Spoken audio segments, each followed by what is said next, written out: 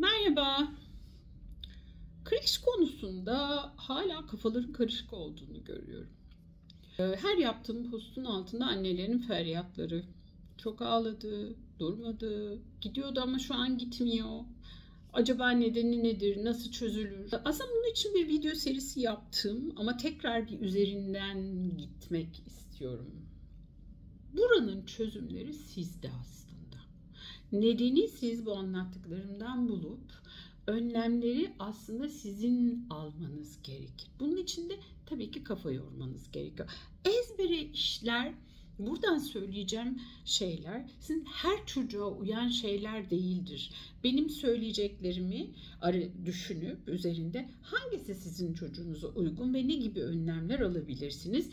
Videonun sonunda önerilerde bulunacağım ama yine de yüzde yüz geçerli olamaz. Neden olamaz? Her çocuk biriciktir ve onların öykülerini bilmemiz mümkün değildir. Buralarda genel önlemlerden bahsederiz her, her zaman. Genellemeler bireylerde yanlışlıklara yol açar.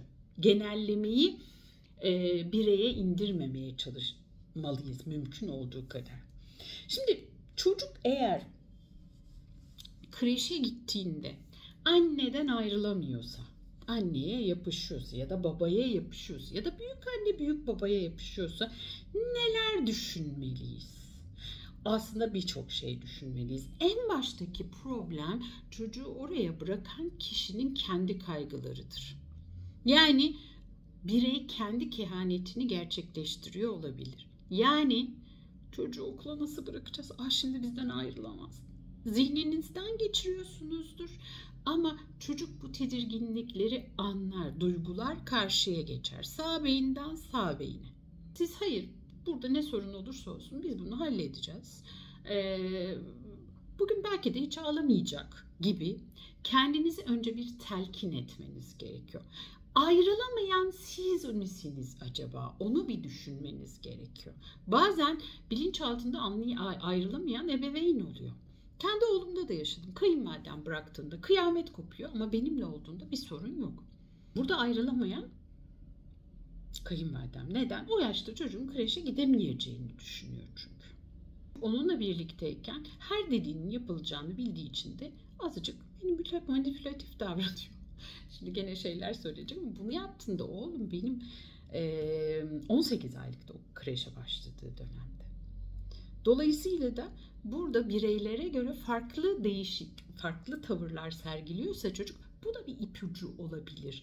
Sizin onu bırakmakta zorlandığınız konusunda. Örneğin diyelim ki anne bırakırken sorun yok, babayı bırakıldığında sorun oluyor. Babadır ayrılamayan. Böyle düşünün. Bir ikincisi sınırlar. Bakın özellikle başta gidiyordu ama sonra gitmemeye başladı denenlerde bu konuda iyi düşünün. Bir çocuk eğer evde kuralları bilmiyorsa, evde kurallarla büyütülmüyorsa, kreş gibi toplu ortamlarda başarısızlığa uğrar. Neden? Evde bir kuralı yok ki. Sınırlanmıyor evde. Beyin konfor sever. Onun beyni de konforu tercih edecektir. Konfor nerede? Evde. O zaman gitmem okula der. Burada yapılacak en önemli şeylerden biri büyük küçük oğlum bunu denedi birkaç kere. Evde sıkılmasını sağlamaktır. Biliyor musun? Bugün çok yoğunum ama seninle oyun oynayamıyorum. Şimdi okulda olsaydın ne kadar eğlenecektin bir düşünsene. Şimdi evdesin ve sıkılıyorsun gibi. Bu birazcık e, okulu daha iyi tolere etmesini sağlayabilir. Bir de ciddi anlamda sınırlar konusunda kendinizi eğitmeniz gerekir. Yani okuldaki sor, e, sorunun sınır olduğunu görüyorsanız aynı sınırlar evde de olmalı. Zaten olmalı. Evrenseldir sınırlar. Ama biz çocuklarımızı sınırsız bir hayata hazırlarmış gibi her istediklerini yapıyoruz. Sonra da niye böyle oldu? Ah bu çok zor. Vah vah vah. Biz yapıyoruz. Biz zorlanıyoruz. Ama çözümsüzlükleri sırtımıza e, yükleyip gitmenin bir anlamı yok. Hallolacak. Sakin olmamız gerekiyor. Ebeveyn çocuğu okula hazırlamamış olabilir. Çocuk mesela çok iyi anlatılmamışsa okula bırakıldığında annenin babanın tekrar al, almayacağını zannediyor olabilir. O yüzden her zaman şunu söylemek gerekiyor. Burada senin Arkadaşlarınla birlikte vakit geçirebilmen için bulunacaksın. Akşam seni alacağım. Birkaç gün örnekler verilebilir. Gidip izlersiniz. Anneler çocuklarını bırakır, babalar çocuklarını bırakır. Sonra akşam tekrar gidersin. Bak aynı çocukları anne baba alıyor. Çocuğa süre tanıyabilirsiniz. Bak şu kadar süre ben seni bahçede bekleyeceğim ama ondan sonra kendi işime gitmek zorundayım. Sınır koymanız gerekiyor. Gene geldik sınırlara. Ömrüm boyunca dışarıda bekleyemem ben seni. Böyle bir şey olmaz. Üstelik hepimiz okula gittik. Ben de gittim. Kardeşin de gitti. Ablam da, abi de gitti. Kuzenin de gitti. Baban da gitti. Evden o resimleri çıkarın. Eski okul fotoğraflarını çıkarın. Herkesin okula gitmek zorunda olduğunu e, öğrenmesi gerekiyor çocuğun. İlkokula başladığında küçük oğlum benim gitmiyorum okula dedi. Çünkü öyle bir şansın yok. Çünkü 18 3 yaşından 18 yaşına kadar devlet diyor ki çocuk okula başlayacak. Senin de ilkokul zaman. Ben seni okula götürmezsem devlet bana hesap sorar. Öyle bir şansın yok. Ben gittim. Sen de gideceksin. Şimdi ne diyor? Hala okuldan nefret ediyor. Şimdi diyor ki üniversite gitmeyeceğim. Tamam. Amenna. Ama son güne kadar 18 yaşını bitirene kadar, lise son sınıfı okuyana kadar görevlerini yapmak zorundasın. İsterse, isterse mi? Hayat böyle bir şey. Yani şu imajı veriyorsanız istersen gitme. İşte böyle, böyle netlik yoksa hayatınızda o çocuk acı çekmeye devam eder. Net olacaksınız. Bakalım yazdığım başka bir neden. Olumsuz şeylere bakalım. Belki de e, okul problemi yönetimi olabilir. Ee, örneğin öğretmenin çok şefkatli biri değildir. Güven vermiyordur. O da kendine güvensizdir. Çocuk sınıfı yönetemiyor olabilir. Sınıfta kaotik bir ortam vardır. O zaman problem olabilir tabii ki. Çocuk kendini öğretmenin yanında güvende hissetmez. Başka bir şey, diğer çocuklar aşırı hareketlidir. Ama sizin çocuğunuz daha böyle ekran görmemiş bir çocuktur. O oradaki hareket onu korkutuyor olabilir. Orada onu sakinleştirmek gerekir. Biliyor musun? Evet zorlanıyorsun değil mi? Çok mu gürültü? Mesela benim oğlum öyle söylüyor. Çok bağırıyorlar. Çok bağırıyorlar anne alışacaksın derdi. Evet haklısın. Bazı zorlukları var. Toplu yaşamanın bazı problemleri var. Bunu sen de görüyor olabilirsin. Bunları çok küçük yaştan itibaren çocuklara söyleyebilirsiniz. Oğlum 2 yaş civarındaydı biz bunları konuştuğumuz zaman. İyi taraflarını gösterebilirsiniz çocuğa. Evet, beni özledin ama oyun da oynadın değil mi? Çok keyifli. Ben hep buradayım ama oyun oynayacağın arkadaşlarına zamanın kısıtlı. O yüzden orada eğlenmeye ne dersin? Biz çıktığımızda sana sıkı sıkı sarılırız ve hallederiz beraber. Olumlu bir dil kullanmak. Çocuk zorlanıyor, biz ondan daha çok zorlanıyoruz. Güven vermiyoruz ki. Yapacaksın güzelim. Alışacaksın. Biliyor musun ben de seninle e, senin zamanında çok zorlanmıştım. Ama sonra ne arkadaşlıklar kurdum. Çok eğlenceliydi. Pozitif yüz ifadesiyle bile bakmıyoruz çocukları. Bazen böyle e, oğlumu kreşe götürdüğümde oturur anneleri izlerdim. O ev o yüzle o çocuğu kreşe götürürsen bırakamazsın. Çünkü sen çok endişelisin. Senin yüzüne baktığında çocuk korkması gerektiğini düşünüyor. Dolayısıyla da pozitif bir yüz ifadesiyle gitmeniz gerekiyor onunla birlikte. Siz okula güvenmelisiniz ki o da okula güvensin.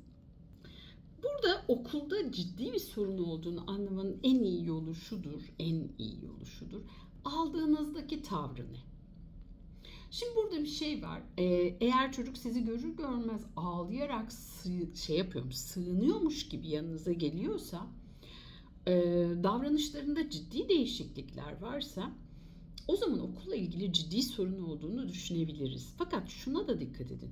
Sınırsız olan bir çocuk varsa ortada o da eve geldiğinde size kök söktürebilir. Şunu duyabilirsiniz okulda. Ya siz gittikten sonra ağlamayı kesti. Çok güzel oyun oynadı. Ondan sonra ama sizi görünce ağladı gene.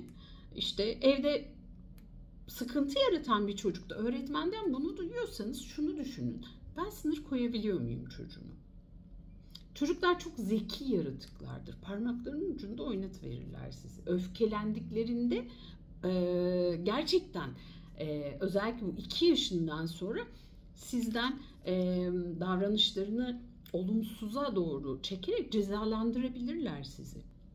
Bir düşünün bakın evde sınırlarınız var mı? Çocuğunuzu içinde eğitebiliyor musunuz? Bu çok önemli. Onun dışında gene notlarıma bakarsak ebeveyn kaygısını söylemişiz ve o ebeveynin olumsuz hayata bakışını söylemişim. Bu çok e, az önce anlattığım şey.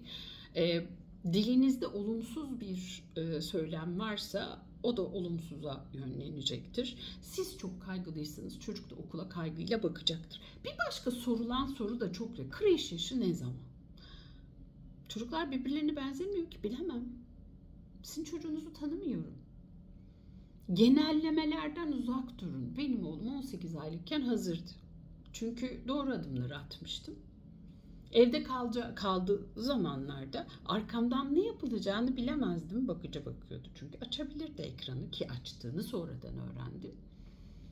Cartoon Network'ü biliyor benim oğlum. Mümkün değil. Bilebilmesi için birinin benim arkamdan ona ekranı açıyor olması lazım. İyi ki erken vermişim. Hastalandığı dönemde demek ki açmış. Ama bu iş böyle. Yani e, iyi düşünmek gerekiyor kreş konusunda. İyi tartmak gerekiyor. Ha bana sorarsanız daha önce de söyledim okullardan nefret ediyorum. Çünkü okullar genelleniyor. Kişiye özel değil. Hepsini aynı kalıpta büyütmeye çalışıyor. Ama şu anda çocuklarımın sosyalleşmesi için başka bir imkan yok. Kendim onları eğitebilirim. Dünyanın bilgisi bir cep telefonunun içinde. Halledebilirim. Ama sosyalliği sağlayamam. Çocuklarım o yüzden okula gidiyor. Sosyallik de en önemli şey. Ben evde onları okullardan çok daha iyi bir yetiştirebilirim. Ama sosyallik onu gerçekleştiremem. O yüzden okullar çok önemli ve okullardan ne beklediğimizi de biz çok iyi tartmalıyız. Son zamanlardaki e, paylaşımlarımı bilenler bilir. Teneffüs sürelerinin çok uzatılması ve çocukların oyun haklarının onlara iade edilmesi gerekiyor bence. Umarım bu video bir parça size yardımcı olur. Kreş konusunda seneye kreş zamanına kadar, okulların açılma zamanına kadar bir son vermek istiyorum. Umarım e, endişelerinizi biraz toparlayacak ve neler yapacağınıza dair e, yollar bulabilmenizi sağlayacak bir video olmuştur. Kendinize iyi bakın, hoşçakalın.